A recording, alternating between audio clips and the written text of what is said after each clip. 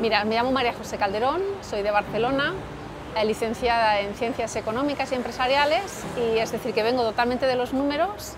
pero bueno, quise experimentar en, en, el mundo de la novela y acabo de publicar mi, primera, mi primer libro. Pero el título del libro es No te vayas, es un libro muy híbrido, clasificado como novela romántica, también me lo han clasificado como novela metafísica, como novela de autoayuda, la verdad es que coge un abanico de lectores muy grande. Es la primera novela que he escrito. Como ya te he dicho anteriormente, soy licenciada en económicas, con lo cual vengo totalmente del, mundo de los números, pero tuve una intervención quirúrgica que me, que me llevó a estar en cama durante aproximadamente una semana y ahí escribí lo que sería el primer capítulo del libro. Me olvidé de ella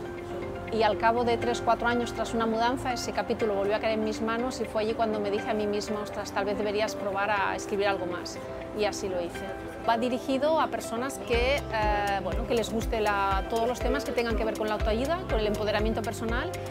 y también tiene mucho que ver con el amor, es decir, la, trato el amor desde todas las dimensiones que puedas imaginar.